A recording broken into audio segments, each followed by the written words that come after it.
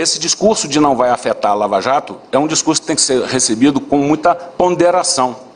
Porque, na verdade, ninguém conhece, a não ser aqueles que participam da investigação, ninguém conhece a complexidade, o alcance, a dimensão do que, do que representa essa investigação. Estou apenas querendo dizer que tomei o cuidado de examinar qual seria o impacto, ah, examinando não exatamente quantas, mas quais as pessoas que integram, qual a sua lotação, vez que esta resolução ela regulamenta o percentual considerando a lotação dessas pessoas. Mas a pergunta sobre o impacto não foi feita, eu quero deixar isso bem foi, claro. Foi feita, especificamente. Consultei tanto o coordenador da Força Tarefa Lava Jato aqui da PGR, o promotor eh, de justiça, Sérgio Bruno. A senhora não consultou o procurador-geral?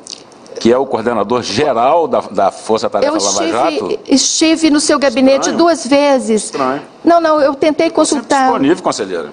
É, Então, eu não tive o retorno do seu chefe de gabinete, o doutor Eduardo Disponível. Pelela, porque estive lá É, várias vezes O grupo pedindo de trabalho da Lava Jato reunião. perante o Supremo é sobre a minha coordenação. É verdade, senhor procurador-geral, e nem estou Só limitando isso.